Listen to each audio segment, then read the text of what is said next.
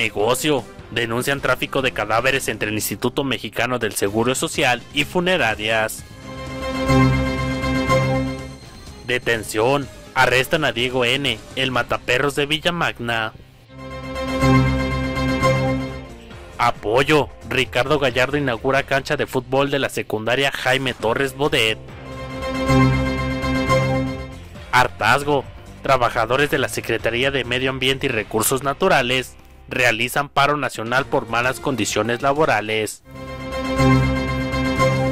Escasez.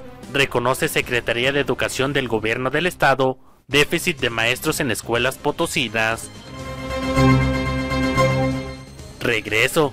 560.000 alumnos de educación básica vuelven a las clases.